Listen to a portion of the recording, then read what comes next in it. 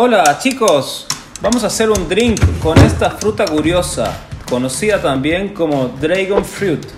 Y para este drink vamos con el famoso Bombay Sapphire, un gin de excelente calidad. Vamos a elegir una copa bien bonita de gin, larga y linda como esta. Y ahora voy a agarrar el vaso de la coctelera Boston Shaker para macerar la fruta. Vamos por un cuchillo y cortamos la pitaya en el medio. Retiramos el centro con la ayuda de una cuchara y un tip muy bueno es ir por el costado retirándole toda la pulpa que va a salir sola. La vamos a cortar en cuatro pedazos. Lo colocamos en el vaso y lo vamos a macerar.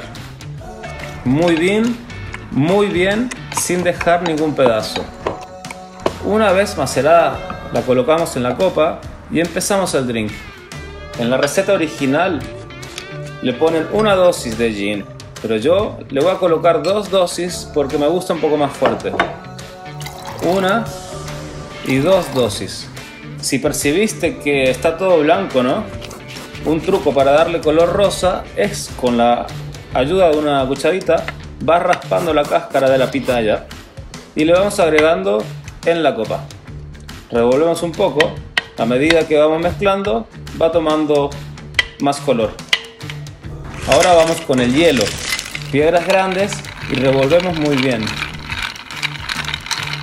Buscamos un Sprite que le va a dar el toque cítrico de limón y va a ayudar a endulzar el drink también.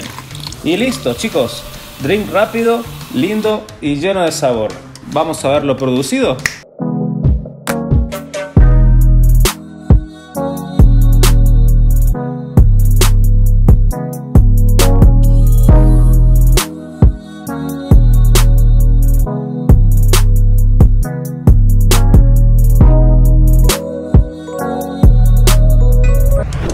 Y si quisieras guardar la pitaya para hacer un drink al otro día, solo protege el centro usando un plato y lo refrigeras. Y ahí está mis amigos, gin de pitaya, sensacional. Quiero ver que lo hagan en su casa, etiqueten arroba drinkerosal y el nombre del drink, gin de pitaya, que lo subimos a nuestras historias. Somos drinkeros.